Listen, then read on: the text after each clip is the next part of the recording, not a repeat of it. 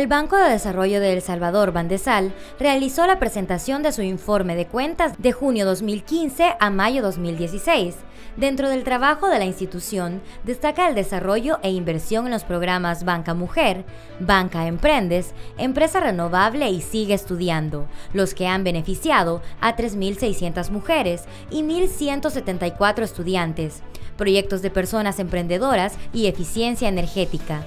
Dentro de la línea BID, Bandesal ha colocado 47,8 millones de dólares en más de 2.531 créditos productivos, de los cuales el 73% han sido destinados en municipios de baja pobreza. Para mí es satisfactorio saber que hemos logrado y superado las metas que nosotros nos habíamos trazado de acuerdo a nuestro plan financiero. Dentro de eso decirles de que como banco de segundo piso o como banco que coloca dinero a través de instituciones financieras, lo más importante de resaltar es que de la línea BIT de los 100 millones que vinieron, hemos colocado a la fecha 49.7 millones y hemos favorecido a más de 4 mil personas que han mejorado sus activos fijos. Bandesal impulsa el desarrollo competitivo de la economía salvadoreña, ofreciendo instrumentos financieros y no financieros como créditos, garantías, capacitaciones y asistencia técnica a través de su centro de formación.